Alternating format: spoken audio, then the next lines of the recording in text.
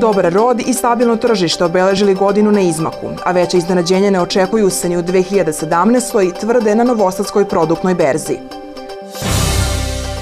Do februara naredne godine biće poznato da li će vakcinacija protiv svinske kuge biti potpuno obustavljena ili će se sprovoditi još jedan kraći period, najavio direktor uprave za veterinu. Intenzivni uzgoj mangulice u Srbiji još uvek nedovoljno zastupljen i pored odličnih osobina ove pomalo zaboravljene rase. Ovim naslovima počinjemo današnje izdanje emisije Agrodan.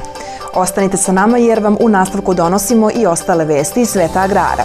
Dobrodošli!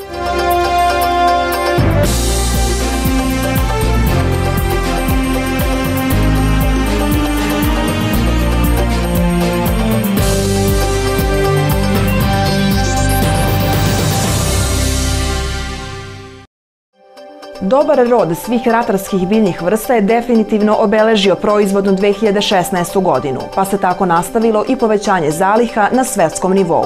Takav trend se očekuje i u 2017. godini. Novosadska produktna berza je tokom 2016. godine htela da modernizuje svoj način poslovanja i da omogući svima koji na berzi posluju lakši uvid u stanje i tržišna kretanja. S jedne strane smo se otvorili, odnosno a, promenili smo neki način poslovanja u odnosu prema klijentima a, što se tiče pravnih lica, a s druge strane otvorili smo se, bukvalno otvorili smo naša vrata i gazdinstvima, svima koji su zainteresovani da posluju preko produktne berze, odnosno dobiju informacije o stanju na tržištu i kretanjima na produktnoj berzi. Omogućavanjem bržeg protoka informacija, svi korisnici berzanskih usluga imaće jasniju sliku o dešavanjima na berzi, a ključan korak je uključivanje poljoprivrednih gazdinstava.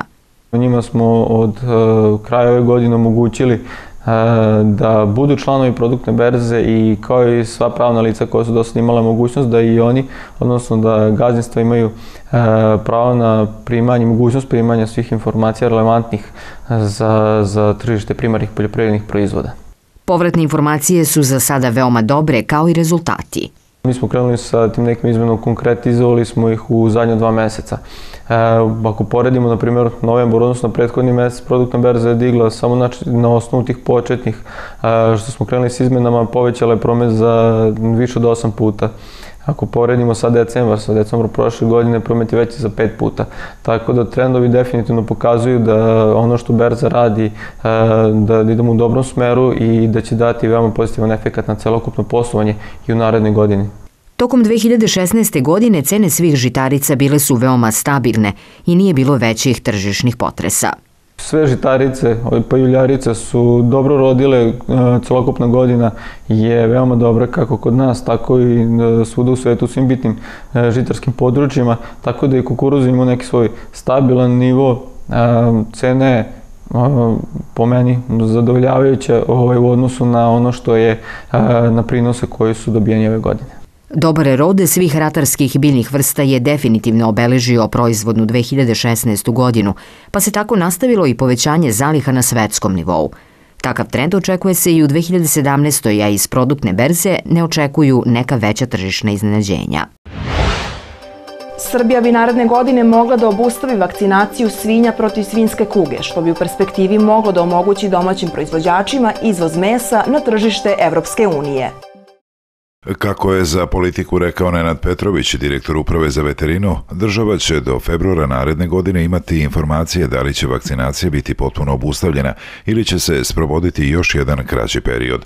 Odluku će na osnovu procene i analize rizika doneti Ministarstvo poljoprivrede i uprava za veterinu.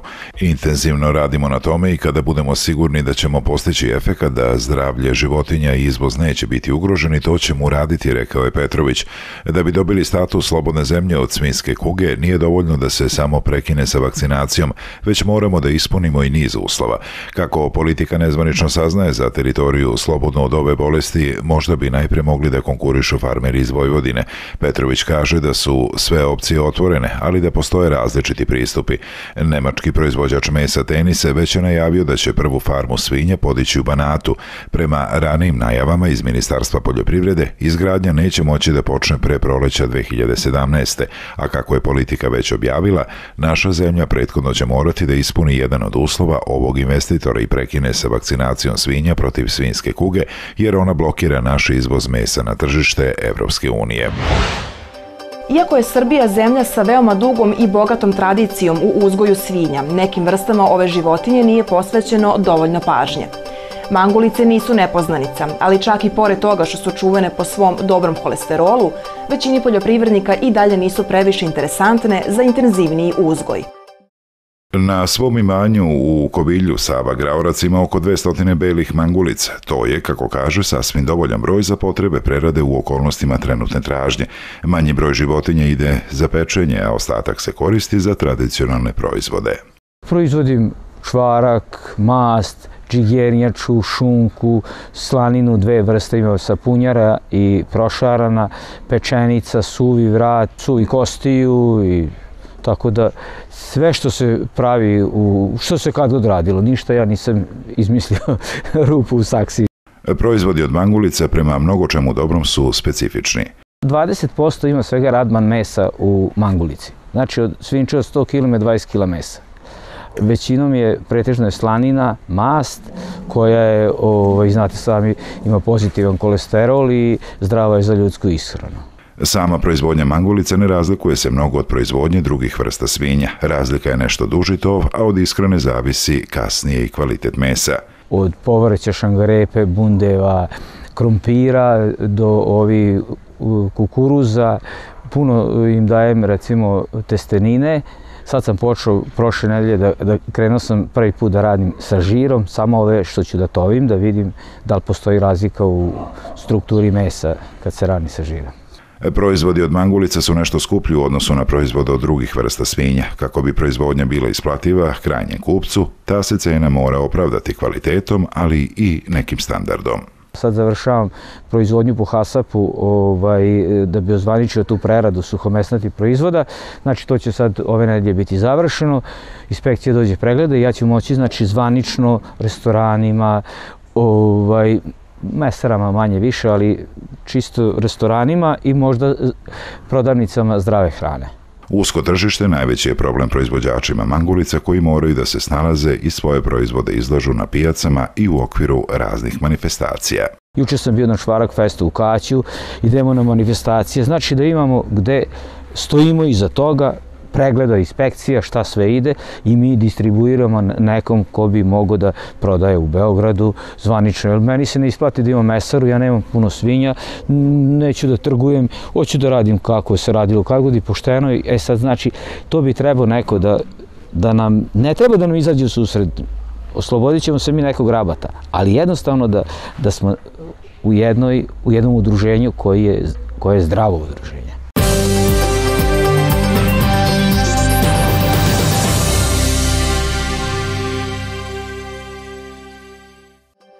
Ostanite sa nama i u narednim minutima saznajte. Pokrajinski sekretarijat za poljoprivredu, vodoprivredu i šumarstvo uručio ugovore vredne 11,5 miliona dinara za uklanjanje divljih deponija sa obradivog poljoprivrednog zemljišta u Vojvodini. Ukupno 70 poljoprivrednika sa teritorije Bača potpisalo sa opštinom ugovore o refundaciji sredstava uloženih u razvoj gazdinstva.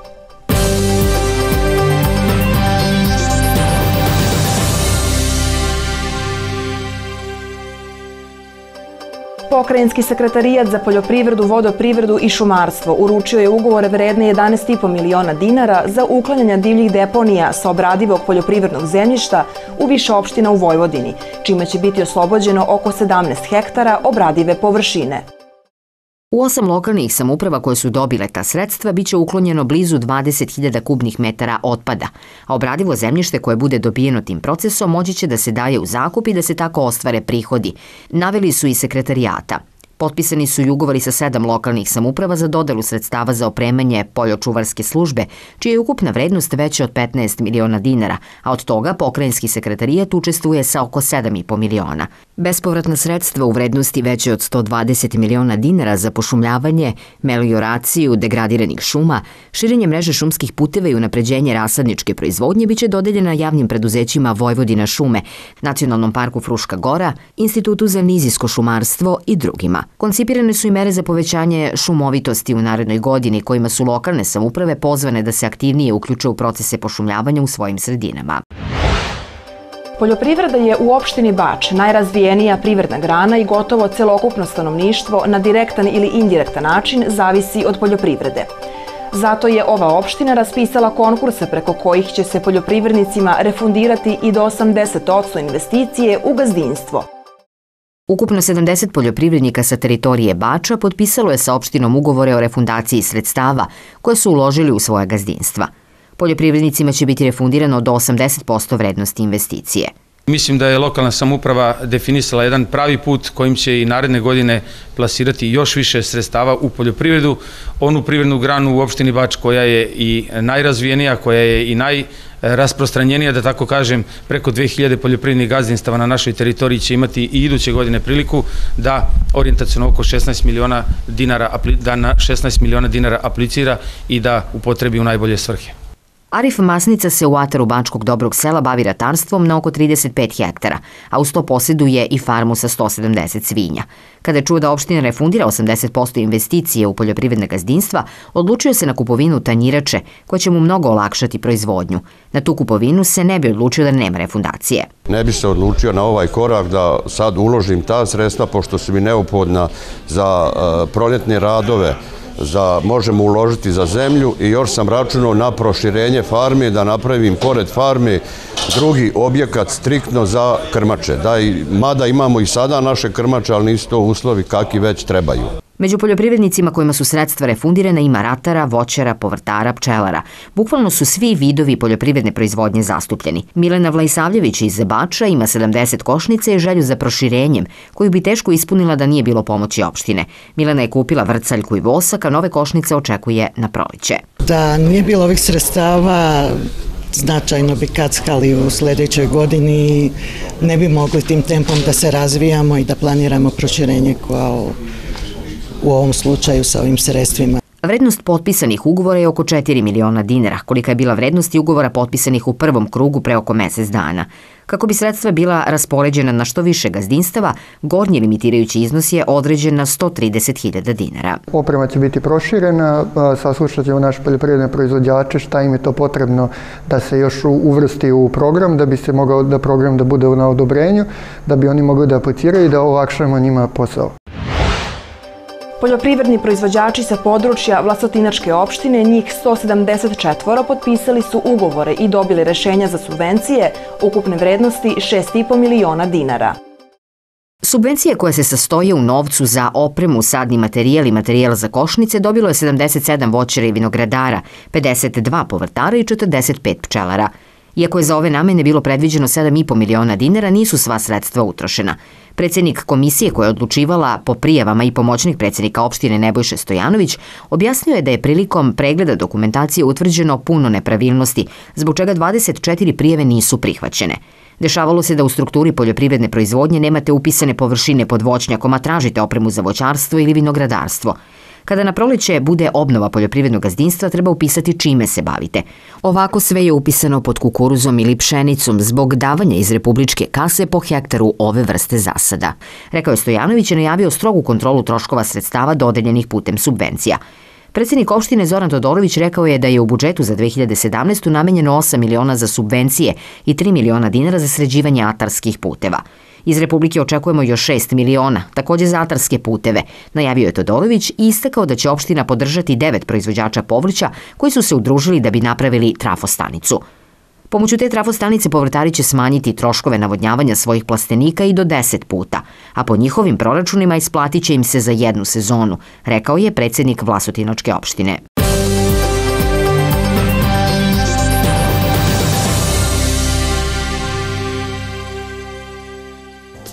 Sam kraj emisije donosi izvešte o vremenu koje nas očekuje u danima koji slede.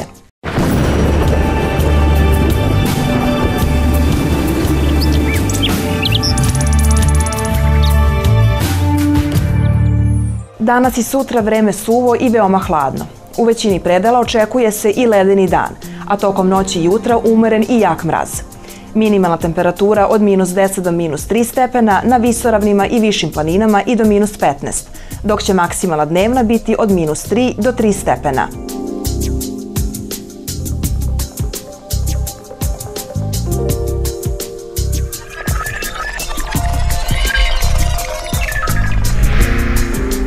Očekivane biometeorološke prilike mogu usloviti pojavu tegoba kod kardiovaskularnih bolesnika kao i osoba sa oboljenjima respiratornog i cerebrovaskularnog sistema. Glavobolja, bolovi u kostima i problemi sa snom moguće su meteoropatske reakcije.